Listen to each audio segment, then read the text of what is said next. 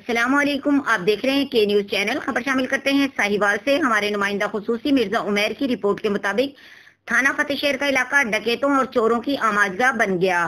तारिक बिन Ziyad colony में एक घंटे के दौरान दो डकैती की वारदात पेश आई। दो नामालूम मुसल्ला अफराद कामरान जनरल स्टोर से असले के ज़ोर पर नकदी ले उड़े। दूसरी वारदात में एक शख्स से पचास हज़ार नकदी और 125 मोटरसाइकिल छीन कर फरार।